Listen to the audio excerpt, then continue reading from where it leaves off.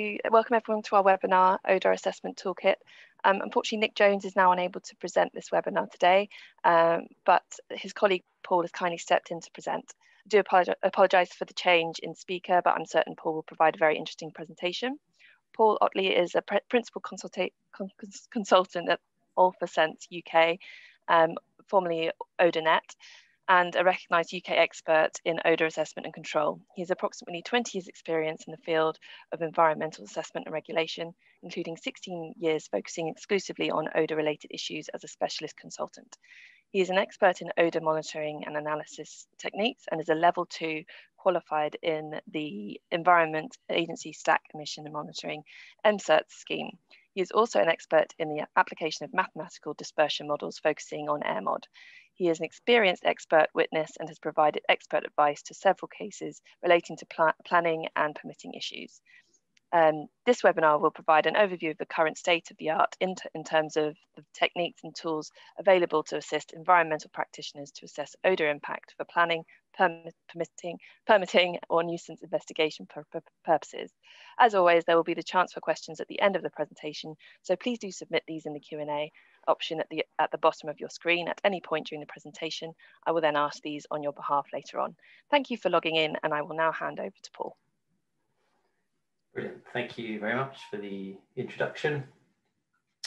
So yes, the purpose of my presentation today is to provide an overview of the tools that are available to measure odours, um, to, to assess odour problems, and hopefully to find solutions to these odour problems.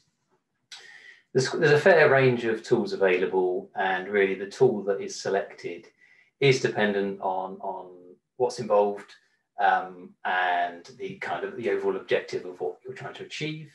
Um, the tools can be used, different tools can be used by different people from operators, regulators, or specialist environmental consultants.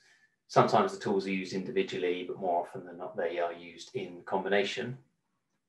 Um, so jumping straight in, um, well, odours, like most environmental pollutants, um, the factors that influence whether a problem occurs relates to the source pathway receptor model. Um, the key elements of this, for, so for odour sources, the key relevant points really are the strength of the odour, its character, its offensiveness, and quite often its chemical composition. Um, the factors that influence the pathway, that's basically how, how the odor um, gets from release point to receptor. Uh, two key, key elements really, the atmospheric dispersion that it receives, the dilution it receives once released, and the distance of the receptor from the, from the odor source. And then the factors which can affect the receptor. Well, these are sometimes a bit more difficult to, to quantify, but um, the key kind of elements are the sensitivity of the receptor, in terms of um, not so much human sensitivity, sense of smell, but in terms of um, people's expectation on the, the, quality of environment that they're in. Uh, the context, odor exposure history, the perception towards the odor source, whether it's negative or, or positive perception of that um, source that's causing the odor. And then, of course, we um, have a number of tools, which is what I'm talking about today. Um, there are a number of tools that can be applied at each stage. Um, in basic terms, at the source, uh, the key the key tool is odor measurement, measuring the odors, whether that's the, the character or the nature, all that kind of stuff we've discussed. Um, pathway, the main tools, well, two categories really. Firstly, the fairly relatively simplistic um, qualitative risk assessments and much more detailed atmospheric dispersion modeling.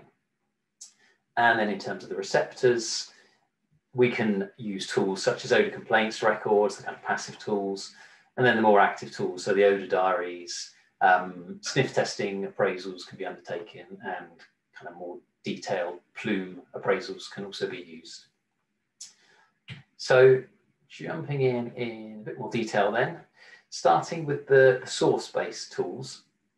Um, these fall into the category of sensory tools and molecular tools.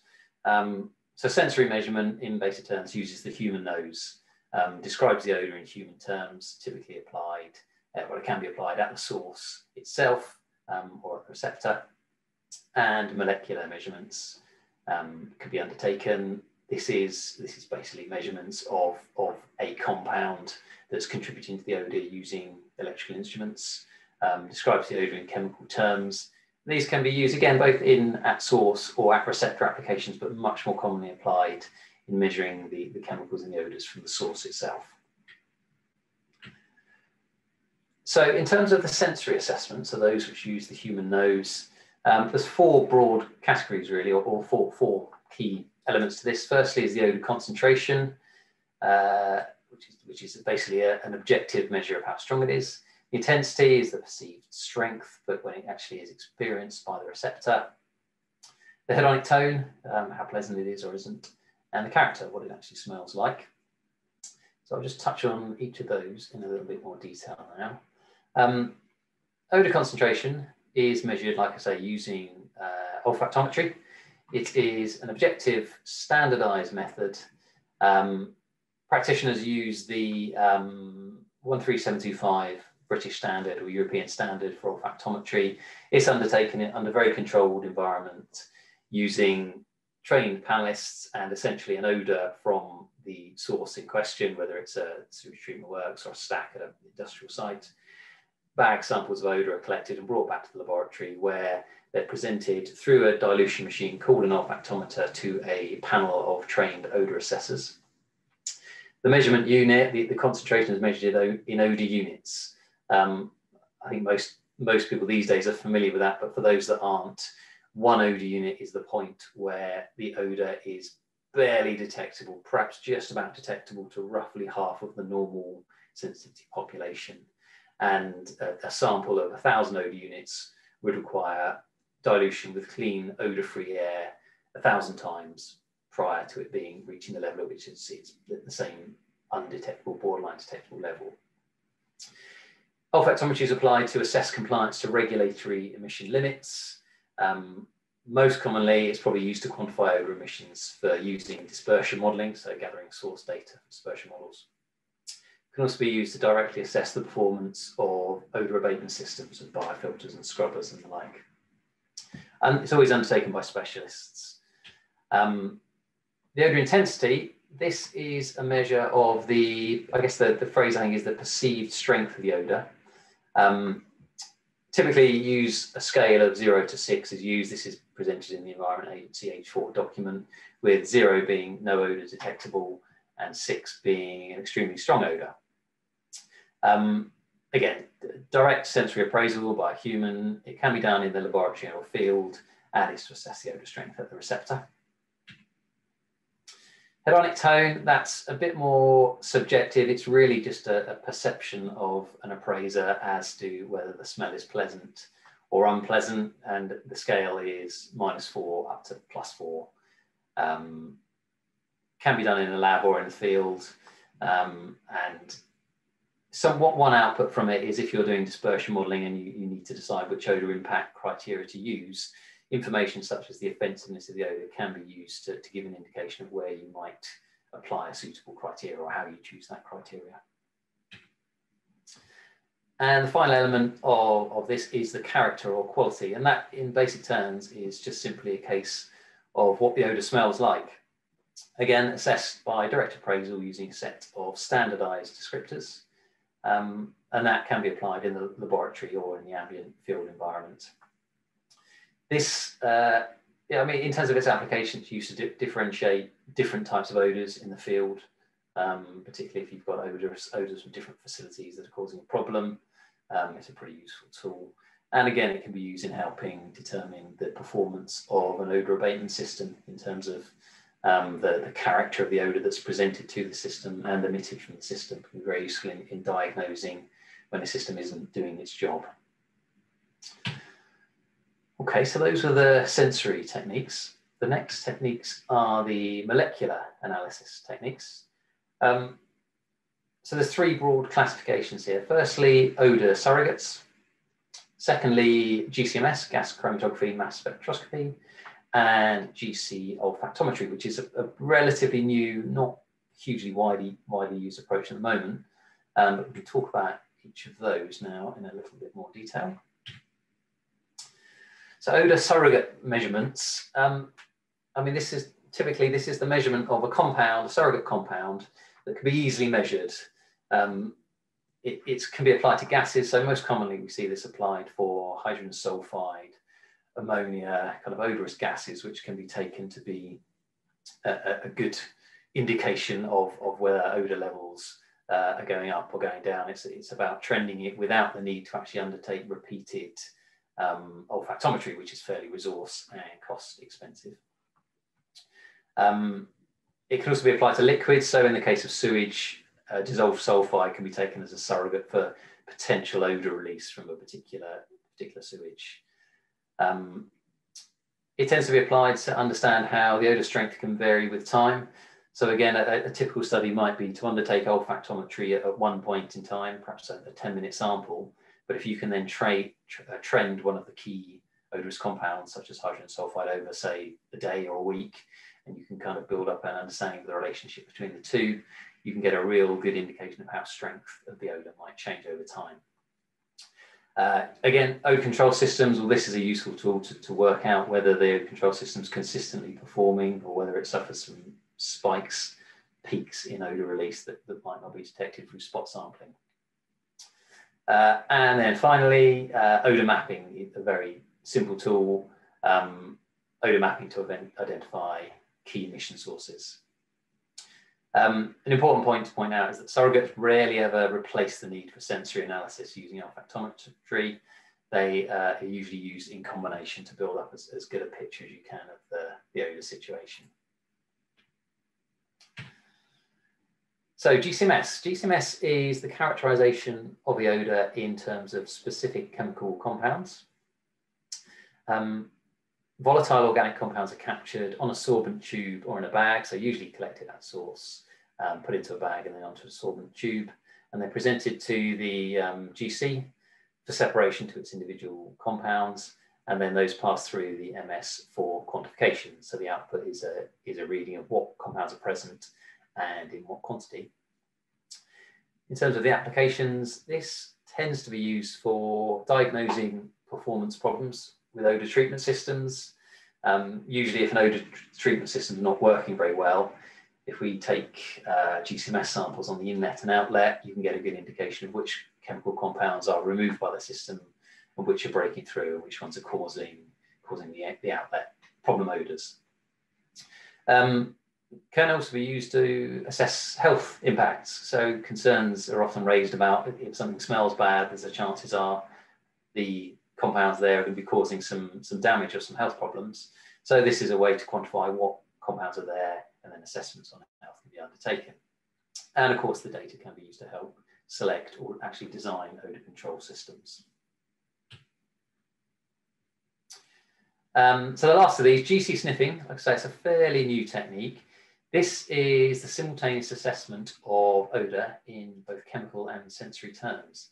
So essentially, it's a GCMS system, excuse me, with um, a sniffing port on the end of the, of the machine. So as the as each compound separated by the GC, its character or intensity or hedonic tone can be appraised um, by the human assessor.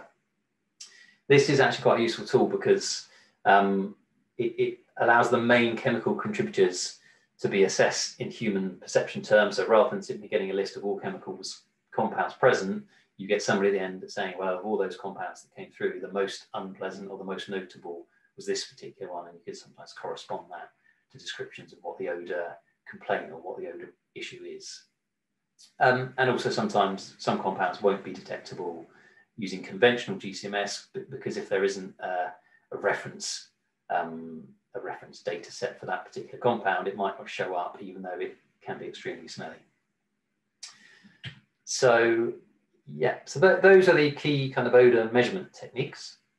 Um, Moving on now to the tools that we can apply to actually assess how once released those odors are actually going to be um, diluting and dispersing or potentially causing impact. The, the I guess the two kind of approaches are the qualitative risk-based assessments, such as the one presented in the IAQM odor guidance for planning. Um, that's a kind of a predictive assessment tool. Um, having said that, it can also be used for existing situations. Um, and then also the more complex uh, dispersion modeling approaches. Um, so your AERMOD and your ADMS. And then perhaps again a slightly newer technology, um, a newer software. There's a software called Ortelium, which can be used for, for real-time dispersion modeling. Um, if we just go through each one of those in turn. So the first one is the risk assessment matrix. Um, the approach, I've, I've, just taken a printout straight from the IAQM odour guidance here. Uh, essentially, it's an impact assessment predictive to predict what level of odor impact um, is likely to occur from a certain um, facility. And it's a qualitative approach. But essentially, it's a case of making an assessment of the source odor potential. So how, how much odor is likely to be released from the source and an assessment of how effective the pathway is likely to be once that source is released. And then it's, it's just a case of, of using the risk matrices that are presented in the document and uh, to come up with a, a, kind of level of risk. It's quite often used as a screening set assessment prior to um, dispersion modelling if it's found that dispersion modelling is needed in, you know, in the case of more um, high risk activities. So the more complex um, approach for assessing uh, the pathway is to use dispersion models. The most common type, which I, I, expect most people on the, on the call are familiar with, is just steady state dispersion models. These tend to be, I mean, most commonly used is AERMOD and ADMS. These models in, in the field of odor assessment, these models are long-term models and they use, they run for typically three to five years um, using hourly meteorological data to make an assessment of what the long-term risk of odor impact from either an existing or a proposed facility is likely to be. Um, so the example we can see there is those are odor impact contours generated from a sewage treatment works um, and that particular study was used to assess the risk of impact at a proposed development site, which is the kind of pinky purple uh, hatched area so the, I mean, the, so the key applications of that kind of assessment um, can also be used perhaps where a proposed facility is likely to be odorous. So, a, you know, a, a new chicken production facility, dispersion modeling can be undertaken to assess the risk to existing receptors. Um, can also undertake assessments of how effective an abatement scheme might be at an existing facility, and also to understand what the relative contribution from different sources within an existing facility might be. Um, the model outputs that are produced are 98th percentile hourly average outputs, and there are certain published, fairly well established odor impact criteria that are applied to give a judgment on whether the proposed level of risk is acceptable or not. So the most commonly applied are those presented in the Environment Agency H4 odor guidance, it was published back in 2011, and the IAQM Odor Guidance for Planning, which was released uh, originally in 2014 and 2018. So these essentially look at the level of odor exposure that's predicted by the models and takes into account the sensitivity of the receptor to then make a judgment on whether the risk of impact is likely to be negligible, slight, moderate, or substantial. Um, so those, that's a fairly widely applied tool, and there's there are all kinds of um, discussions about different techniques and um, you know way, ways of using dispersion modeling. But I think we've covered the, the key elements there. A slightly more, I guess, again, slightly more advanced, or certainly more um, continuous way of uh, modeling is to use um, continuous plume systems. Um, now, what these do is they, they kind of give a much more, rather than a long-term impact that's predicted over a five-year period, they can give, you know, hourly predictions to give an indication of how things at a given facility may change on an hourly basis in terms of um, odor impact at nearby facilities. Essentially, it's a risk management tool um, that allows you or allows the operator to make a judgment, make an assessment of how um, odor impact risk is increasing or decreasing and that's of value to operators because it may affect the uh, timing of certain odorous operations. So it may be that uh, cleaning out a particular odorous tank is not a good idea when the weather conditions mean that the level of impact is predicted to be extremely large. Um, So that's kind of a, a, it's a much finer resolution model. Again, that can be applied using steady state models like the AirMOS and AERMOD and ADMS, but there is also potential to use more um, detailed models, more complex models such as CalPuff, which kind of use a, a, high, a much lower time factor in terms of the, uh, the model predictions rather than hourly averages. And then the final element of um, modeling is something called back trajectory um, analysis. This is a tool that tends to be used for sourcing or determining what the source of a particular odor complaint may be. Um, so the example here, the, the yellow sort of star sun type image uh, figure in the middle of the image is the location at which the complaint has been received.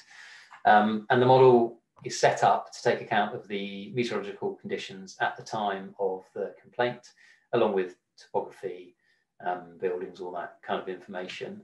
And what it can then do is make an assessment or a prediction of the most likely source of that, uh, of the odor, of where the odor is likely to be generated. Um, as with all these tools that, you know, the better the quality of the data that's in there, the better the quality of the metadata, the more representative, the, higher confidence can be had in the, in the model output and the prediction of where that source was derived. But I've got a case study later on that, that involves um, indicating where that tool was, was used. Okay, so those are the main pathway assessment tools. And then at the other end of the, of the process, we've got tools that can be applied um, at the receptor. So these techniques are, I guess, four kind of main techniques. The first is analysis of odor complaints data. That's a, that's a passive technique for benchmarking the level of impact that might be experienced at a particular location. Um, there's a lot of caveats involved with early complaints. So um, when reviewing complaint data, a, a, bit of kind of quite a good understanding of the situation is, is often required in terms of um, is it one regular complainant? Is it a, a, a broad spectrum of people complaining? Um, there's a lot of interpretation that, that's required to make sense of early complaint data in our experience. Odor diaries can be used, well, that's more active, same idea, but you're actually asking people uh, a broad area and spread of people to, to provide uh, a view on what the odor situation is. And then there's techniques that can be used by site operators and practitioners and local authority and EA staff. And that's the sniff test testing and the plume tracking approaches. So I talk about the, the sniff testing approach in a bit more detail. So sniff testing is a tool which again uses human assessors uh, using direct appraisal to determine the, the intensity, hedonic tone and character of an odor typically out in the field in the ambient environment. Um, there's obviously a degree of su subjectivity within that because you're using humans to give an opinion on their, their perception of the odor. Um, but there are ways of, you know, you, you can make these assessments more valid and more detailed if you consider, for example, the persistence and duration of odor detection. So if you repeat the assessment on numerous days, um, you can build up a nice, strong indication of what the situation in terms of what the odor smells like, how often it occurs. And there, there's guidance in the IAQM uh, odor guidance for planning, particularly on about how you take the frequency, duration, and the intensity of the odor into account to give an, uh, a view on whether impact's likely. Um, so it can be used to investigate and corroborate odor complaints, it can be used by site operators to undertake routine monitoring uh, of site locations or site boundaries to, to kind of monitor how their site's doing in terms of odour. And it can be used by regulators to identify sources of odour or assess compliant, compliance to permit conditions. And then an, another type of um, sniffing assessment, slightly more um, advanced, is plume tracking. This is an approach that uses um, human assessors, again, usually uh, somewhere between two and 10 people in the field, usually, usually two for practical reasons. Um, this is where an odor plume from a facility, typically a diffuse source facility, is tracked by uh, essentially starting way downwind of the facility and continuously traversing the plume, marking where the odor is and isn't detected, um, and building up a picture of, of the extent of the plume. there is a reference method for this tool. It's 16841, it's the BSEN standard, um, and that, that is available for use and that is applied in some fairly uh, large projects, particularly where the odor source is difficult to pinpoint. So um, diffuse sources such as a landfill. Um, as with a lot of these things, the, the more measurements that are undertaken, the more confidence we can have in the results that it produces. So, so as usual, the more testing, the better.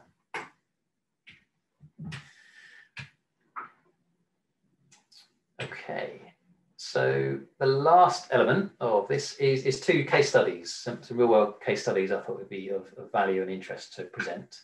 The first relates to uh, a, a, mystery odour from a sewage treatment plant up in Scotland. Um, a bit of context on the situation. The complaints were originating uh, about odours from the plant from about 200 metres downwind of the site.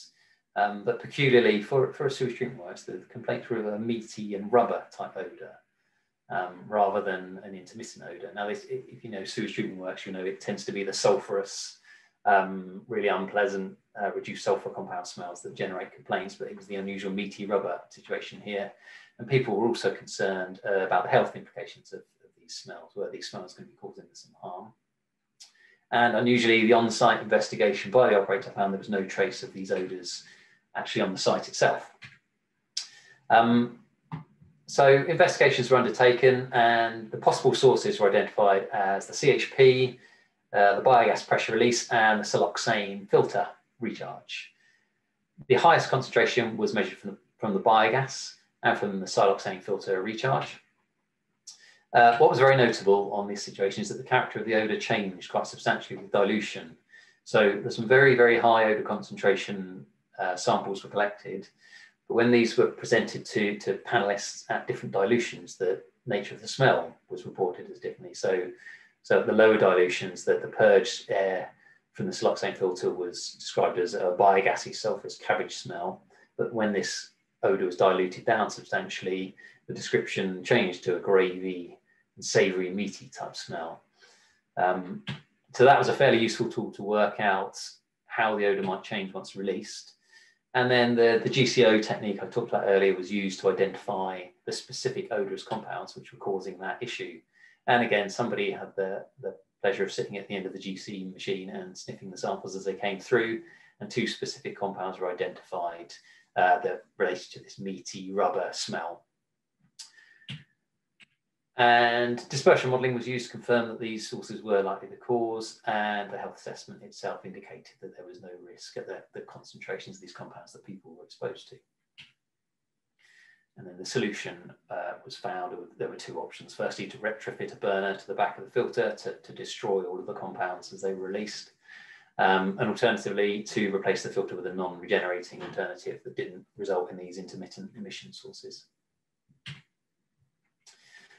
So that's case study one. Case study two relates to uh, an investigation, a much kind of larger scale investigation of, of an odour with no obvious source.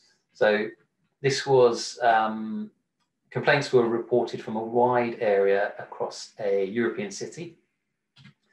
Um, the complaints specifically related to the perception of a distinctive cat urine smell, and the odours were intermittent and were found to be very difficult to trace. Um, being a large city, there were lots of different potential odour sources spread over a large area. A number of tools were used for this. The, the first was back trajectory modelling uh, in combination with sniff testing. And this identified a car spraying facility and an associated wastewater treatment works, uh, which served the facility as the likely source of the odours. Uh, the cat urine odours were detected in the recirculated water from the car spraying plant and a literature, literature review pointed towards something called cat ketone, which is a, a, a compound with a very low odor threshold. Um, and the GCMS that was undertaken identified that the, there were precursors to the cat ketone compound within odor samples that were collected from the wastewater treatment works. Um, so at that point, it became very clear that that was where this source that had been blighting the, the city had originated from. And the solution, well, the operator simply enhanced the hygiene levels in the water recirculation to eliminate the formation of odorous compounds, and that soon solved the problem. So I think, yeah, so that, that's, that's a very quick tour through all the various tools that are available. Um, and so just to summarize, the, the toolkit is there and it's adaptable to different types of odor problem. Um, the key is to ensure that the, the design of the, the, survey or the tools you're going to apply have to be designed appropriately to meet the, the objective and the target of the study. As with a lot of things, a combination of tools is usually the preferred method of, of solving the problems. And a lot of the time, expert interpretation is often required, particularly for the more problematic, more difficult um, problems. Um, and finally, new, new tools are becoming available um, as the science of odour assessment and odour measurement develops. Um, and I'm sure that we'll see in the coming years more and more uh, new additional tools be put into, into, into action. So that's, that's the end of the presentation and thank you for listening. Thanks, Paul. That was really insightful. And just going to Q&A, um, we've got a couple. I'm sure we won't be able to get through all of them, but um, okay. I'll give them a go. Uh, so where does the action threshold come from? Guidance or is it based on site-specific requirements? Um, so, so the action threshold, if we're talking about in, in modelling, oh, sorry, in, in odour impact terms, the threshold at which um, action is required to be taken, it, it's all about the, the, published odour impact criteria. Um, so, so for a permitted site, there may be a condition requiring you to achieve a certain odour level at your site boundary. Um, in planning terms, there's published guidance on what level of odour impact, or sorry, odour exposure is acceptable at off-site receptors. And those levels are published, yeah, in, in the H4 Environment Agency guidance is the one that's most relevant to permitting and from a planning perspective, it's the IAQM ODA guidance for planning, which I would, would point out it's not statutory guidance, but what it is, it's the, it's the most commonly applied and I, I would say the best available reference um, document.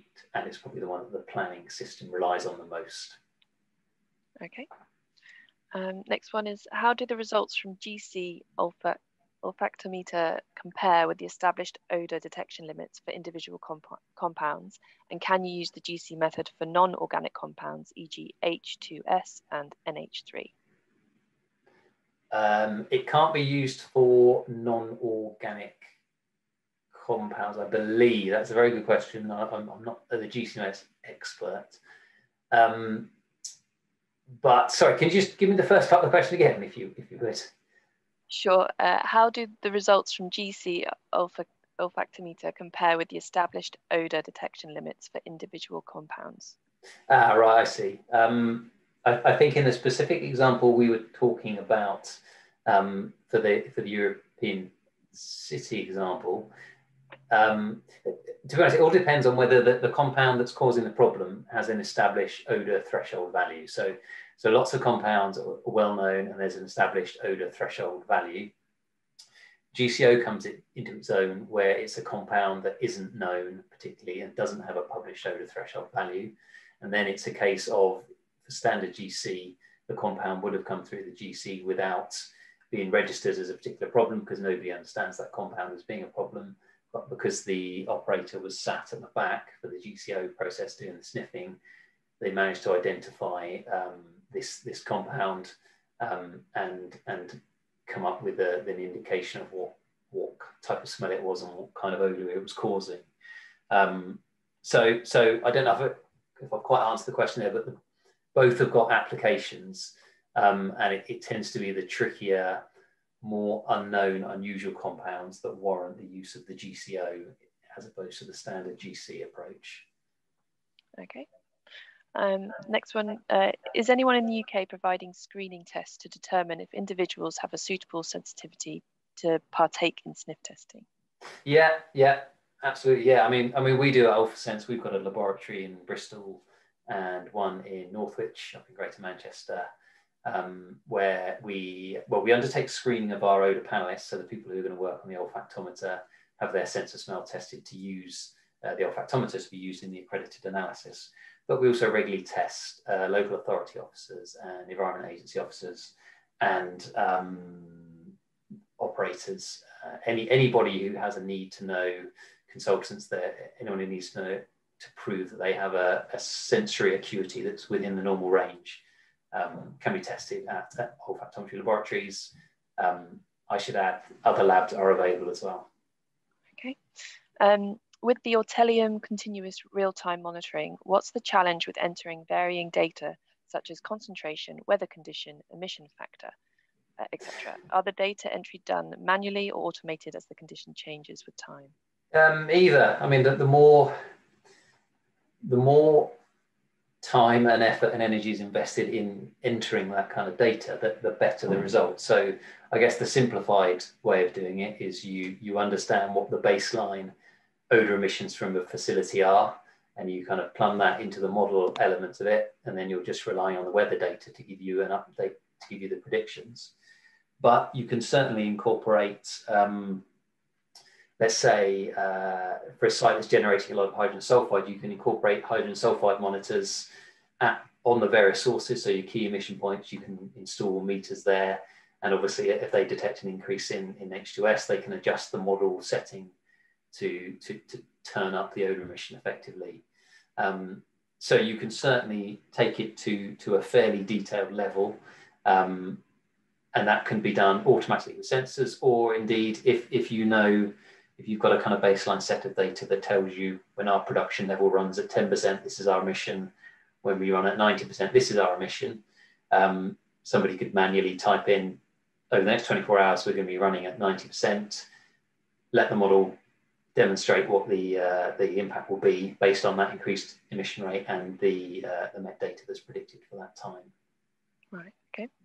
Um, is it common to use CFD instead of AERMOD or ADMS when modelling odour impacts? It's certainly not common. Um, and the reason for that is, is odour, odour impact, for, for anything like regulatory or planning, odour impact is um, assessed over the long term. So, so it's model predictions of what the long-term situation is likely to be. Um, and the odour impact criteria, the standards that are used, are all generally based on the, these long-term models and the long-term predictions.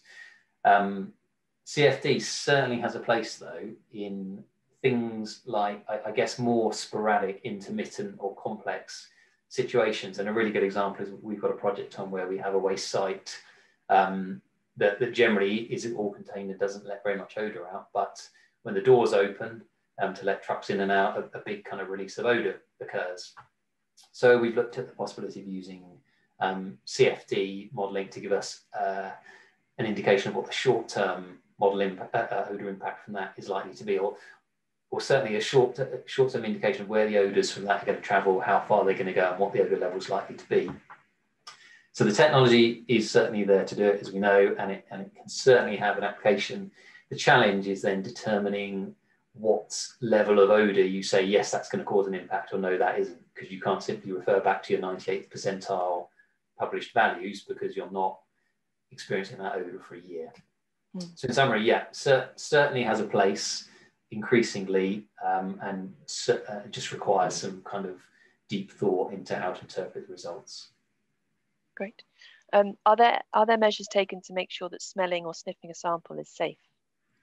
Yeah, yeah, yeah, absolutely. We um, I mean, anyone who operates an accredited laboratory in accordance with the European standard is audited on their procedures, and there's a there's a big section in there about health and safety. And I mean, the, the very the very nature of direct uh, dilution olfactometry is that the samples are dilute, diluted hugely before they're presented to the panel, um, because we want to get it right down to the level where it's barely detectable. So, by inherently, you are presenting very very diluted samples.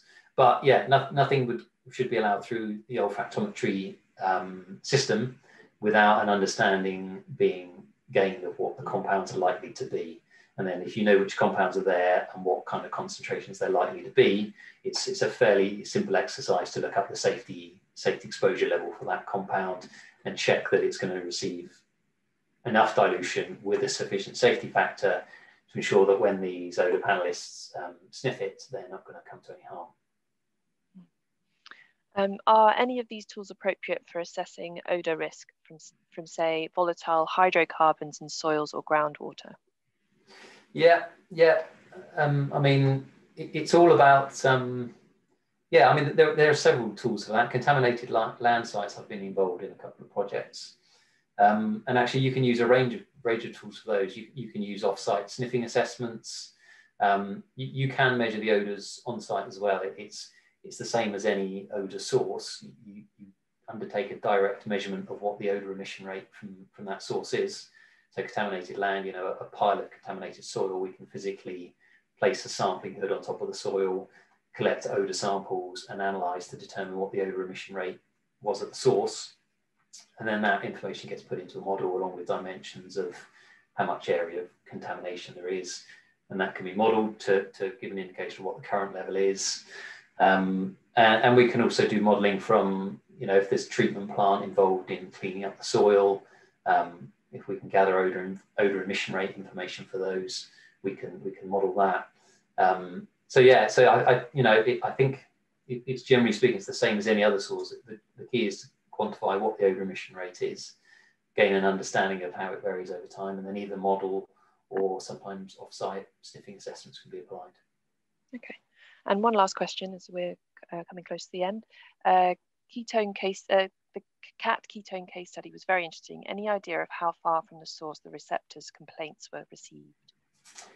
Uh, no, I mean I, it, it, was in it was in Barcelona, um, and yeah, I mean it made the national made the national news, certainly the local news, because large, large areas of the city were complaining and experiencing this this cat urine odor. Um, it, this, the project was done by our um, our Spanish counterparts at the time, so I don't I don't have the specific details, but it was it wasn't a local area; it was a, it was a large area was experiencing this, this horrible odor. Thank you. Um, so that is it from us today. Attendees, thank you for logging in. I hope you found that beneficial and informative. Don't forget to record your attendance at this webinar in the IES CPD tool. You can do this by, by logging into the members area. This webinar has been recorded and will be made available on the IES website and YouTube channel.